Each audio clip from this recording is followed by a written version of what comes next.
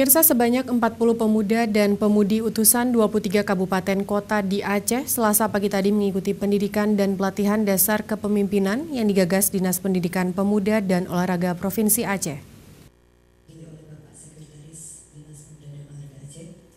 Sebagai bentuk kepedulian dan mendukung generasi muda menjadi seorang pemimpin di masa depan, Dinas Pemuda dan Olahraga Provinsi Aceh kembali menggelar kegiatan pendidikan dan pelatihan pemimpin tingkat dasar tahun 2018.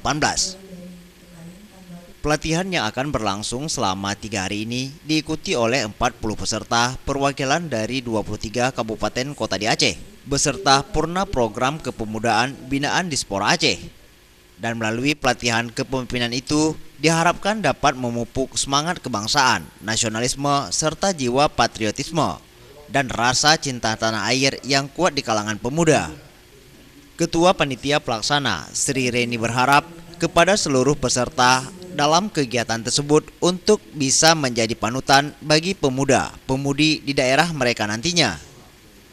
Ini uh, pendidikan pelatihan dasar kepemimpinan. Jadi materi-materi yang akan diberikan itu uh, berupa moral etika kepemimpinan. Hmm. Itu uh, diharapkan dapat menjadi dasar pembentukan karakter building dari para pemuda itu tuh menjadi pemimpin-pemimpin masa depan.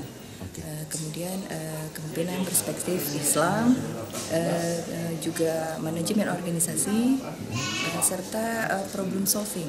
Jadi uh, diharapkan pemuda dapat uh, mencari uh, solusi jika menemukan masalah. Uh, kita berharap pemuda-pemuda uh, yang dikirimkan kemari akan menjadi uh, teladan, akan menjadi uh, ikon uh, bagi pemuda-pemuda daerah yang berada di kabupaten masing-masing.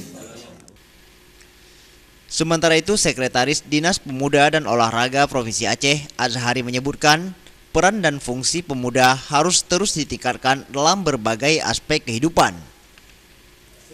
Kondisi pemuda Aceh sekarang ya memang masih perlu kita tingkatkan peran dan fungsinya ya. ya.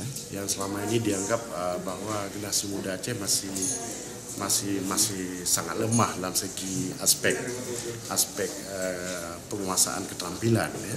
Kemudian baiklah aspek kepemimpinannya ya. Jadi oleh karena itu uh, pemerintah Aceh dalam rangka penguatan kepemimpinan pemuda ini di Spora melaksanakan pelatihan ini ya. Pelatihan pemuda dalam rangka untuk mewujudkan uh, pemuda generasi muda Aceh yang memiliki kompetensi yang baiklah ke depan ini. Apa yang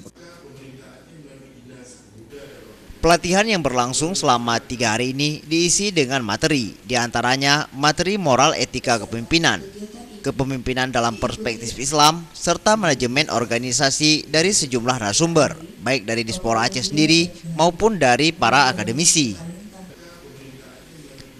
Tim Liputan Aceh TV